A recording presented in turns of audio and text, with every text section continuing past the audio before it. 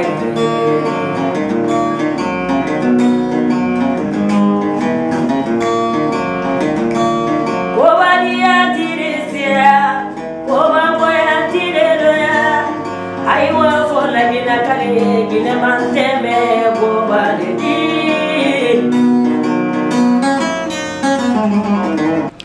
Ces derniers temps, euh, ce qui fait l'actualité justement, ce sont ces appels euh, en faveur de la modification de la Constitution en vue d'accorder un troisième mandat au président de la République.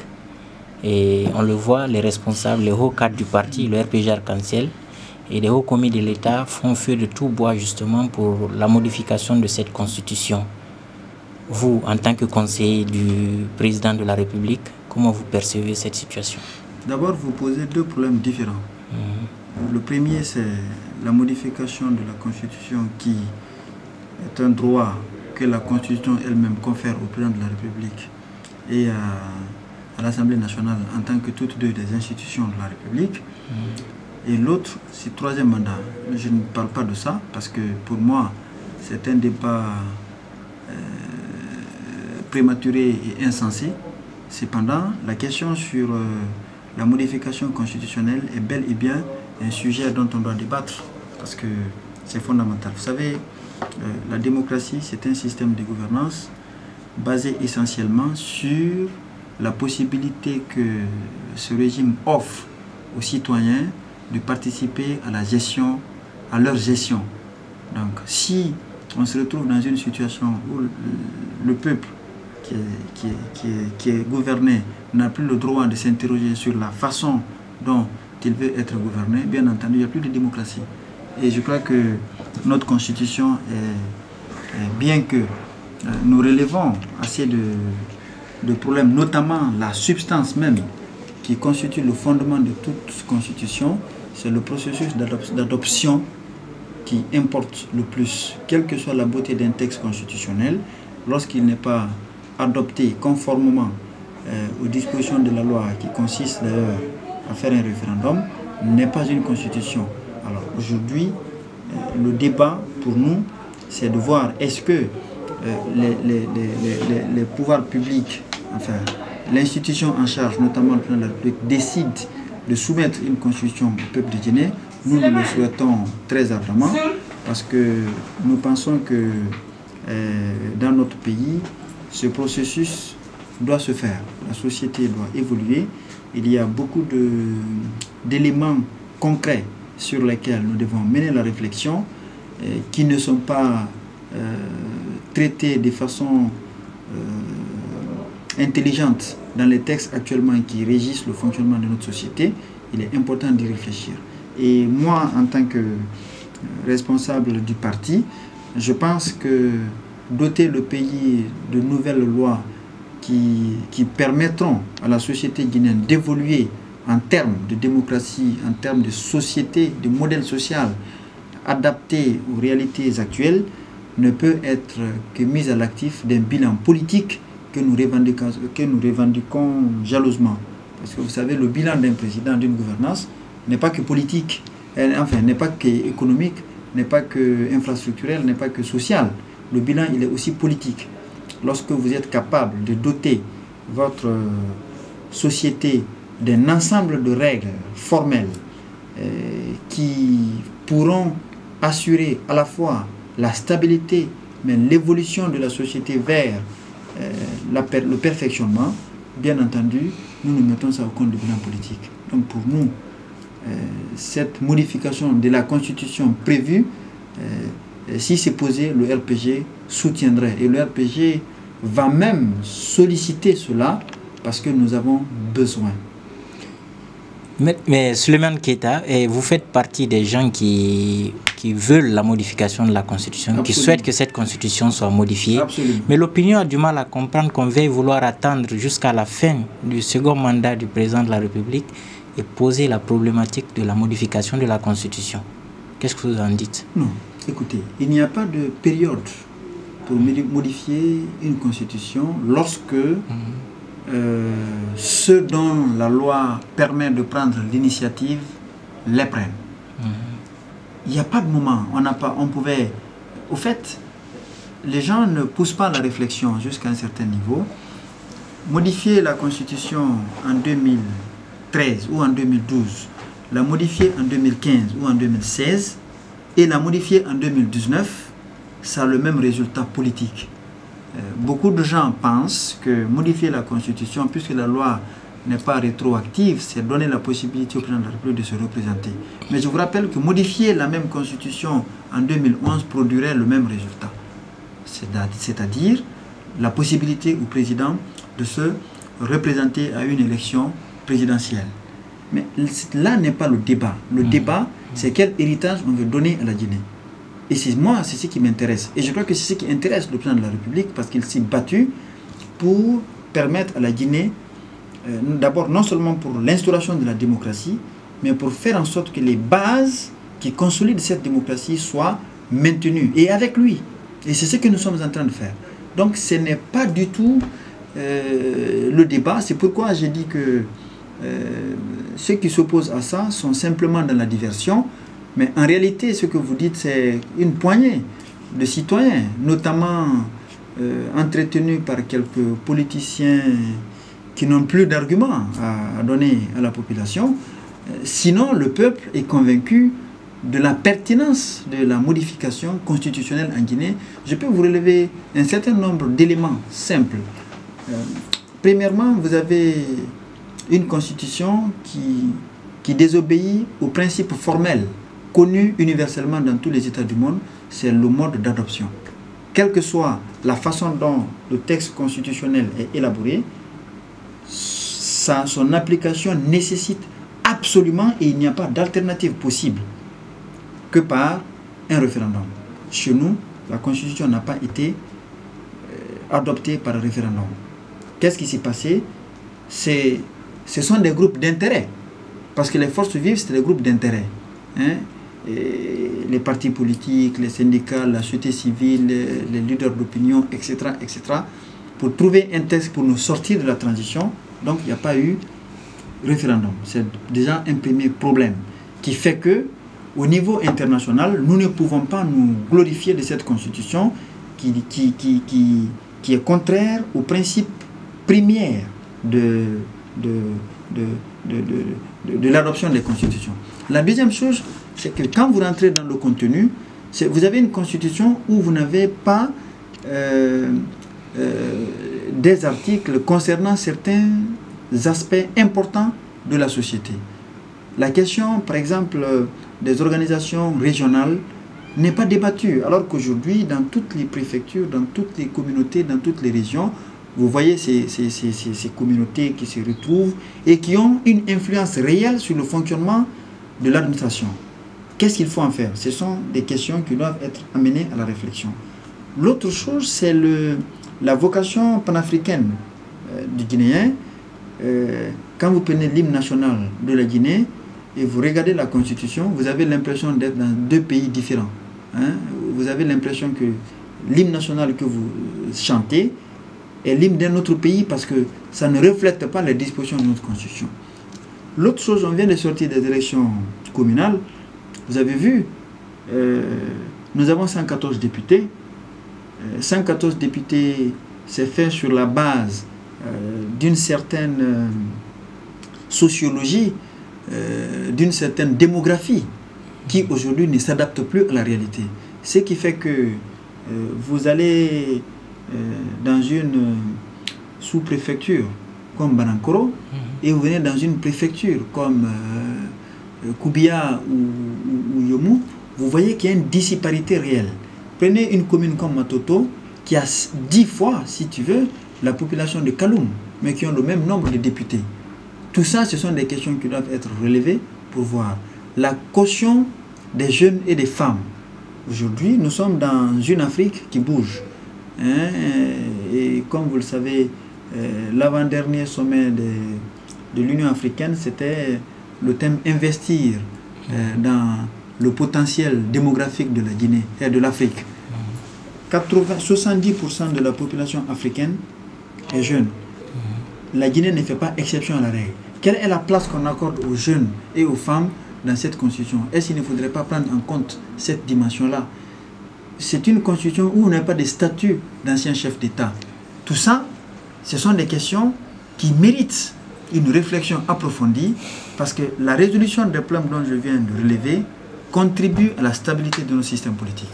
Donc si nous voulons avoir un système stable, euh, un système euh, performant qui permette d'assurer la continuité de l'État, on a bel et bien besoin d'amener la réflexion à ce niveau-là. Ça n'a rien à voir, hein, encore une fois, avec une quelconque question de troisième mandat. Je vous rappelle, le président Ouad a modifié la constitution au Sénégal dans l'intention de se présenter à une élection. L'élection qui a suivi, a été battue. Ça dépend de qui tu as en face. Nous, nous sommes au RPG, ce débat viendra et on, on sera prêt pour en discuter. Pour le moment, ce qui nous intéresse, c'est parachever notre travail. Et le parachèvement de ce travail prend en compte le principe qui consiste à vouloir doter notre pays des textes propres, des textes clairs, hein, indemnes de toute confusion, pour permettre à notre pays d'évoluer dans la sérénité. Comment vous pouvez expliquer, par exemple, lors d'une élection communale, que ce soit des partis politiques qui imposent leur bas a voulu défier toute la notabilité de Kindia, alors que dans les élections communales, il y a une dimension sociologique qui doit être prise en compte. Nous, par exemple, au RPG, nous avons perdu à Farana parce que tout simplement, nous avons voulu imposer, on a voulu euh, poser, imposer euh, un candidat qui n'était pas le ressentiment de la population sous une dimension sociologique et historique. Et du coup, le parti a perdu. La même chose s'est passée à Kindia, etc., etc. Donc voilà des éléments pertinents aujourd'hui que nous devons intégrer, amener à la réflexion, appeler les constitutionnalistes pour nous aider à voir comment on intègre l'ensemble de ces questions dans l'approche future que nous voulons de notre pays. Vous avez euh, la Côte d'Ivoire ou le Sénégal. En Guinée, vous avez plus de, de, de, de 10, institutions mhm. républicaines pour rien. Ça ne sert à rien, absolument rien. Donc voilà. Mais on ne récuse pas de manière systématique cette constitution, puisque de toutes les façons, on l'a conçue dans un contexte de crise, où les intérêts, dans lequel les intérêts antagoniques se, se poireautaient par-ci, par-là. Aujourd'hui, doter notre pays d'une nouvelle constitution va permettre au président de la République d'aider la Guinée, d'avoir des textes qui permettent de résister au temps et de régler toutes les crises latentes dans les dispositions même de nos textes de loi. Et beaucoup de personnes pensent que le président de la République en personne ne veut pas quitter. Il souhaite justement qu'il y ait cette modification qui va désormais euh, lui permettre de rester au pouvoir et faire encore deux autres mandats. Et vous qui êtes son conseiller, est-ce que vous pensez que le président de la République veut aujourd'hui s'éterniser au pouvoir? Ben, Moi, je ne parle pas de cela. Est-ce que le président de la République s'est prononcé sur cette question? Ben, Si le président se prononce, il se prononce hmm. publiquement pour le moment, c'est un débat qui est ouvert. Mhm. Et je crois que ce n'est pas le président qui l'a ouvert, c'est l'opposition même qui a ouvert ce débat de constitution. Donc vous pensez que, tout simplement, mhm. elle est une opposition sans vision et sans stratégie. Donc vous pensez que c'est l'opposition qui a encouragé Mais c'est l'opposition qui a ouvert le débat. Je vous dis, la raison elle est toute simple. Comment? Le, ils ont toujours voulu que le président se prononce sur la question du troisième mandat. Le président n'a pas à se prononcer sur une question du troisième mandat. Hmm. Le troisième mandat n'est pas constitutionnel. Vous comprenez? Hmm. Le troisième mandat n'est pas constitutionnel.